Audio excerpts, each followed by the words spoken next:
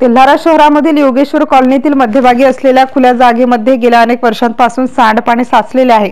त्यामुळे सर्वत्र दुर्गंधी पसरली असून नागरिकांच्या आरोग्यास धोका निर्माण झाला आहे. तसेच गोकुळ कॉलनीतील नाल्यांचा प्रश्न प्रलंबित आहे. शहरातील ही सर्वात मोठी समस्या असून त्याचे निराकरण करण्यासाठी वंचित बहुजन आघाडीचे सक्रिय कार्यकर्ते विजय देशमुख व अनंत मैनखेर यांनी बारा फेब्रुवारीपासून छत्रपती शिवाजी महाराजांच्या पुतळ्यासमोर आमरण उपोषणाला सुरुवात केली आहे. शहरात साचलेल्या या पाण्यामध्ये विषारी वनस्पती साप व विषारी प्राण्यांचा मुक्त संचार वाढला असून साचलेल्या पाण्यावर मोठ्या प्रमाणात मच्छरांचा देखील प्रादुर्भाव वाढल्याने डेंग्यू हिवताप यासारखे साथीचे आजार पसरण्याची शक्यता निर्माण झाली आहे.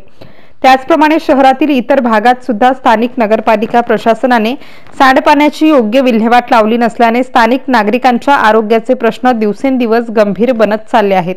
या संदर्भात तेल्हारा नगरपालिकेकडे वारंवार निवेदने व विनंती अर्ज सादर करून त्याचा काहीही उपयोग न झाल्याने अखेर वंचित बहुजन आघाडीच्या वतीने आमरण उपोषणाला सुरुवात करण्यात आली आहे. एमसीएन न्यूज मराठीकरिता संदीप सोळंके तेल्हारा.